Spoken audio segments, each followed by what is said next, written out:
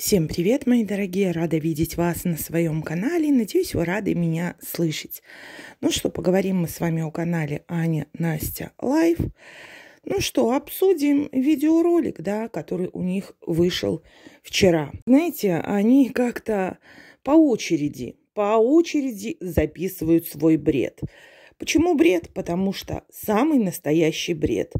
Им сказать нечего, ребят – Учеба, работа, учеба, работа. Биратор, день рождения и одно и то же по кругу. Знаете, уже и правду в комментариях пишут, что это уже абсурд. И это уже все. В голове какая-то дурная фобия. День рождения. Это же как охота подарков, чтобы, слушайте, постоянно, бесконечно говорить про день рождения. И уже если 25 лет, все, значит, капец. Ну и что день рождения у тебя? Ну и празднуй. Чего ты орешь в каждом видеоролике? С сентября месяца. День рождения, день рождения. Подарков хочется?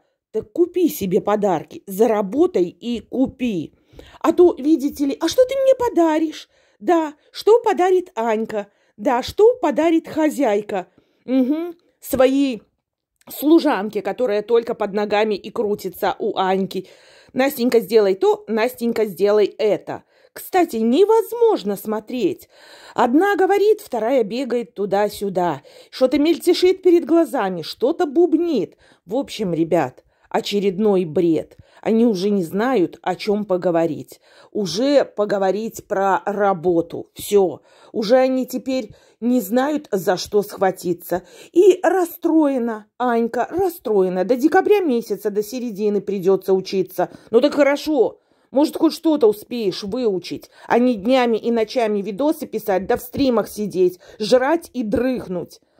Ну а еще, ребят, момент – Анька на курточку намекает, что курточку пора бы одевать. Ну, у нее есть там курточка с прошлого года, да. Э, новую купить никак. Да, она бы купила. Но это так дорого, 160, 180 евро. А чё? А чё, Анечка, проблемы? А ты у мамы попроси. Вон Настю мама с папой одели. И ты у родителей попроси. В чем проблема? Если ты сама не можешь заработать себе на курточку – Какая, смотрю, деловая. В жилетке уже не дело ходить. В курточке ходить, да.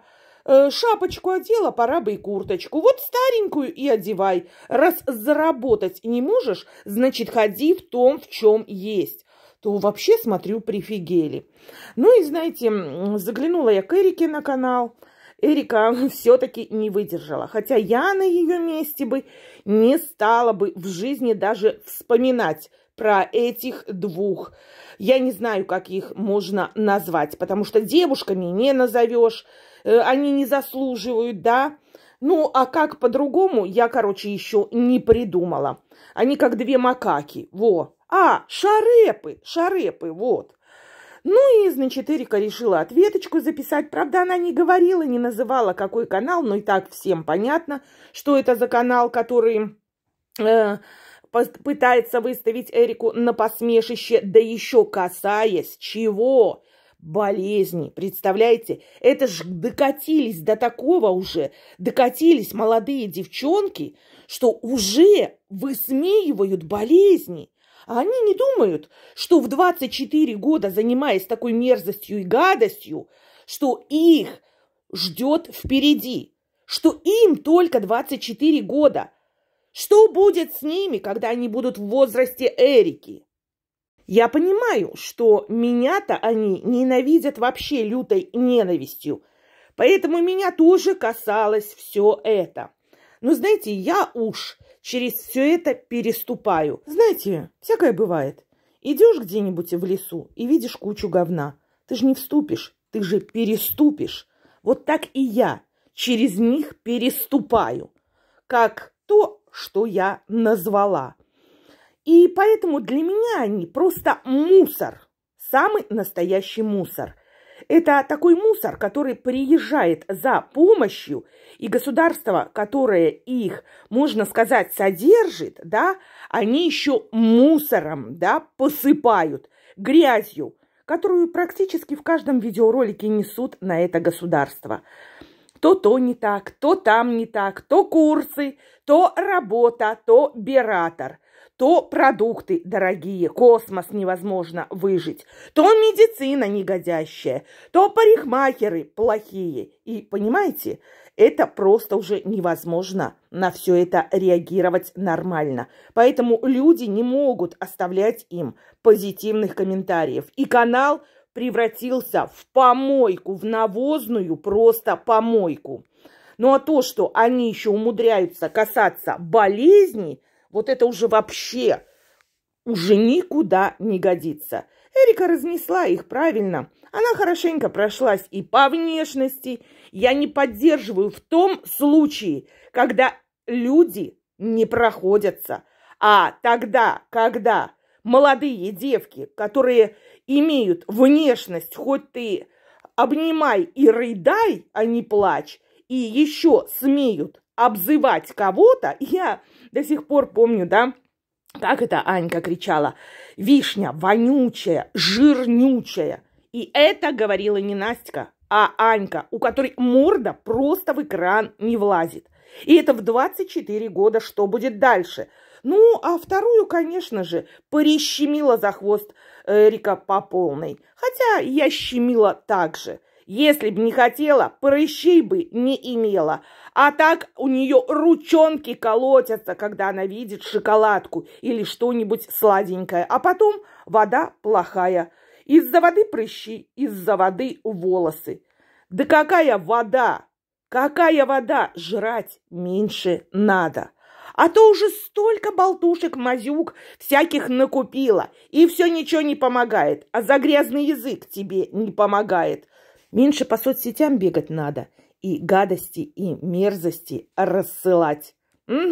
Людям, с которыми ты вообще никогда не была знакома и в глаза никогда не видела.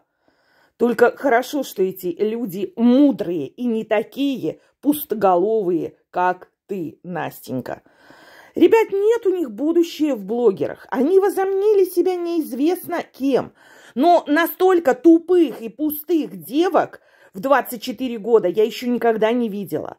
Нет, я все понимаю, разные есть люди. Но вот на таких вот пустышек, которые не знают даже о чем поговорить и которые не могут найти темы для разговора, но это жесть. Это жесть. И вот какое у них будущее?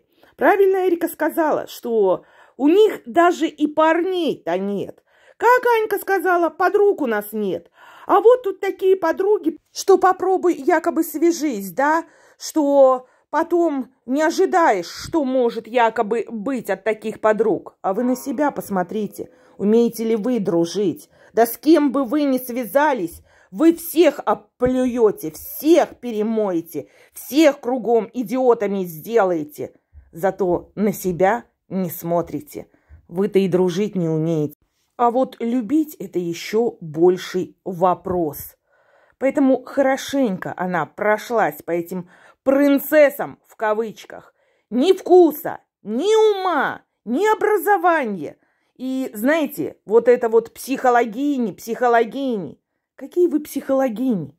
Вы обе с фобиями. Одна с ноги на ногу переваливается и не может налюбоваться на себя в камеру и вечно трясется, вся ходуном ходит. А вторая то и дело губами плямкает и кучу фобий имеет. Кстати, проходились по болезни Эрики, по здоровью. Только вот Анька почему-то бесконечно плямкала – про то, что ей операция нужна, и как она переживает, и какой капец прям ей приходит. Что ж, Анька, про свои болячки-то не ржала, а? Настенька, ты чё над подругой не ржала, когда та на операцию ходила? Не смешно было, потому что Анька по мордасам бы надавала. А вот над людьми, которые гораздо старше, можно и поржать. Но обратка залетит со скоростью. Мои дорогие, пишите, что думаете вы по этому поводу. Оставляйте свои комментарии, оставляйте свое мнение. Но я хочу напомнить, что это лично мое мнение, и я его никому не навязываю. И на этом я буду заканчивать и прощаться с вами. Всех вас обнимаю. Всем пока-пока.